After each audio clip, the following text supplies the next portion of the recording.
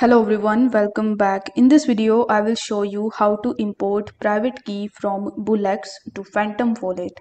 Now before importing your private key, you need to make sure that you have downloaded your private key from Bullx. If you haven't done it already, then you need to just hover over to the left hand section and click on the wallet manager option. Over here, you will be able to see the download option of your private key and you will get only 48 hours in order to download it successfully over here. Now I have already downloaded it. That's why the option is not showing to me over here.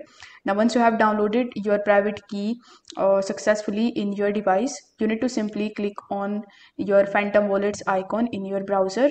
And over here you need to click on your account in the top next you need to click on the plus icon and here you will be able to see the option of import private key so you need to simply click on this option and here you can first give the name as Bullx and in the private key section you need to simply paste the private key that you have just downloaded from Bullx.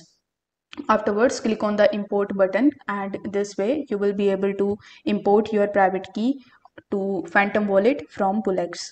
If you found this video helpful then don't forget to like it and subscribe to the channel. Thank you so much for watching.